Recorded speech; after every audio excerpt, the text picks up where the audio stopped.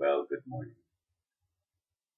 Yes, it's just past midnight, and I didn't even get quite two hours of sleep last night. Um, I've been laying awake for, for a while. Finally decided to get up and do the video, which is titled Re-examining What We've Been Taught. None of us like to think we believe lies about the way things are. Most do not welcome having their truisms challenged. Thinking outside the box is strongly discouraged in most circles. I humbly ask and even strongly suggest that we all take a closer look. What kind of world do we live in at this time? Is it one where people are free and encouraged to explore new ideas? Or is it a world where thinking for oneself can reap a whirlwind? Nowhere is this more evident than in politics and religion. Free thinkers are often accused of treason in the political world, and religious leaders label those who think outside the box of approved doctrines as heretics. The powers that have come to be don't want their apple cart overturned by anyone brave enough to challenge the status quo. Look at the world created by this attitude. Is it a nice and loving world? Perhaps to the insane I, for one, am being forced by circumstances in my life to re-examine all that may have led to a condition that numbed me to higher truths. If everything was going reasonably well, I probably would not change anything. Perhaps that's human nature, distorted though it may be. However, we live at a time when I believe all of us will have to face the probability that our world is built on lies. Until we are ready to acknowledge that, we will not see the bigger picture. We are being given an opportunity to change the world. But first, we have to grow up enough to see where we are wrong and admit it.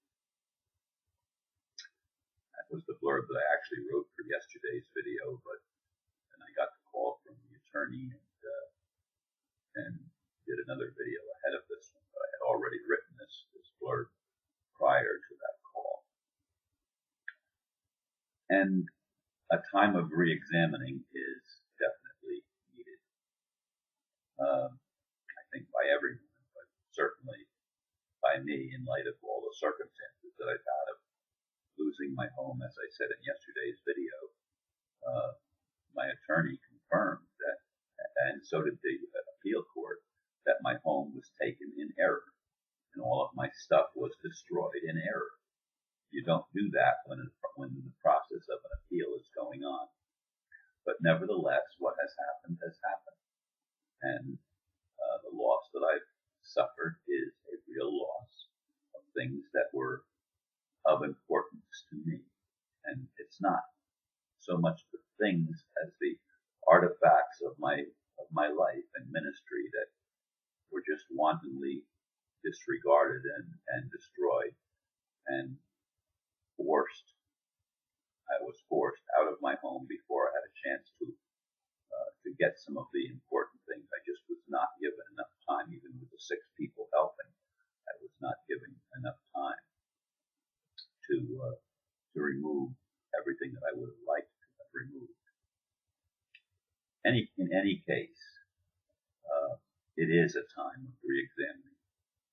And I really think that we need to wake up and look at the world that we live in. We, we mustn't be afraid to look at everything, the politics and the spiritual beliefs. The religious beliefs saddled us with the idea that we are somehow less than what God created us to be. God created us to be his own children. And as I've said in, uh, in a previous video recently, uh, Anastasia gave a living example of, of, what it's like to not be brainwashed uh, as a as a young child into what to believe. She developed uh, a lifestyle where she was in touch with nature, and because she was in touch with nature, she knew God. Uh, she knew God differently than religious people know God. She remembered things that most of us have no recollection of because it's been programmed out of us by the by the culture in which we live. And we need to wake up and see that the culture in which we live is a manufactured culture. It's a culture that has been manipulated greatly to uh, exalt a certain group of people and or demons uh, and elevate these individual entities to a status of, of rulership uh, that enslaves everybody else. And if we don't recognize that, we won't change it. We have to first come to come home to the realization that this is the reality. Said, they've distorted religion. Uh, and, and I'm looking at some of the things that I thought were true that I was taught and that I have been, that I've been teaching myself. And I, I have to be willing to let go of ideas and beliefs that don't that don't serve me and don't serve the highest good of humanity. I envision, as I have said many times, I envision a world that works for all of us.